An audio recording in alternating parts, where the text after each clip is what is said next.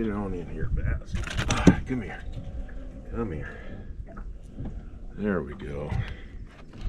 There we go. Nice chunky pound and a half or so. Nice little Z-Man four inch TRD here. And boy, when he took it, he took it good. That's what I'm looking for.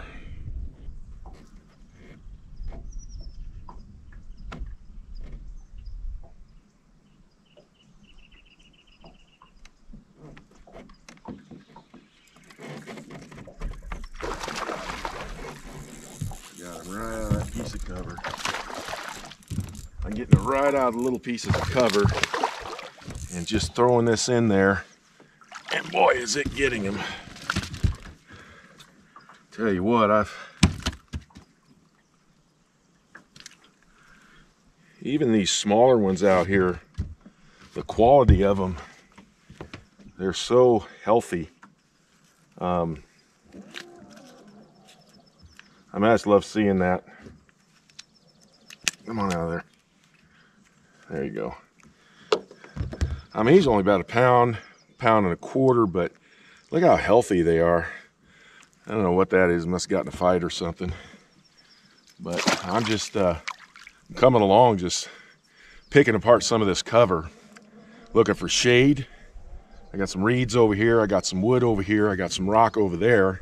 It's kind of a little cut. And I'm just thoroughly covering it with this worm, working along real slow. And tell you what, they're just tearing it up.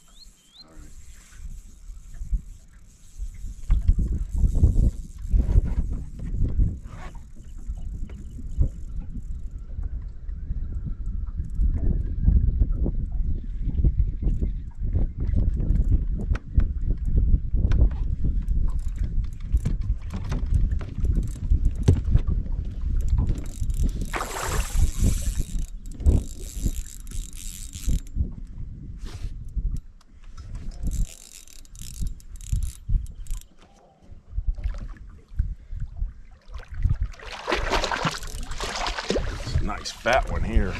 Man, this is nice bass right here. Come here. Oh yeah. Oh yeah. Woo! Okay. That's a nice fat one right there. I gotta weigh this one.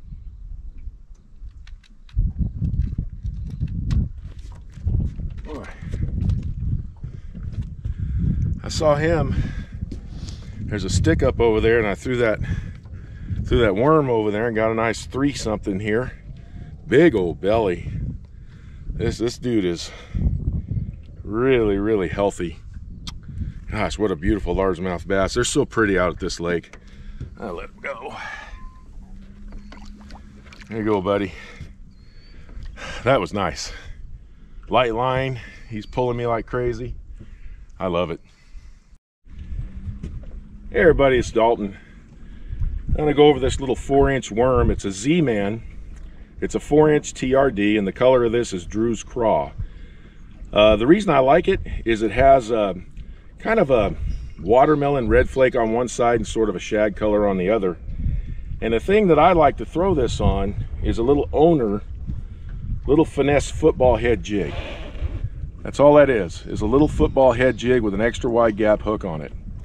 And what I do is I just, uh, a lot of times, I'll go through the tail end. Uh, by going through the tail of a stick bait, because the weight, the head, the head is heavier than the tail, you can cast it farther because the weight's on the end. And then I just go ahead and Texas rig this thing. And the only thing I do with it, and it's pretty simple, you work it a lot like a Ned rig, is I'll just kind of uh, toss this thing out, maybe up against the bank line or around some grass or something like that.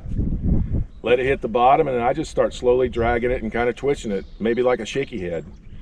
When I'm working a worm, I always keep my rod tip high. If you keep your rod tip high, it's more sensitive. You're gonna feel that bite a whole lot better.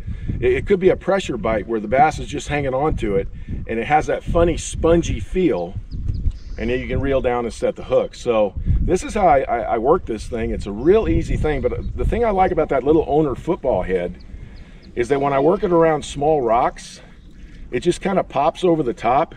It's very weedless, and it just gives it a little bit of a erratic movement when it hits a rock, and that's why I like the little football head jig. But these are also, these jigs you can use for regular Ned rigs as well. But this is a great technique, throwing on a medium action spinning rod, 10 pound test fluorocarbon line, a real finesse technique, just moving it slow. And if you get it around a bass, he's gonna bite it. Well, thanks for tuning in, everybody. I'll talk to you next time.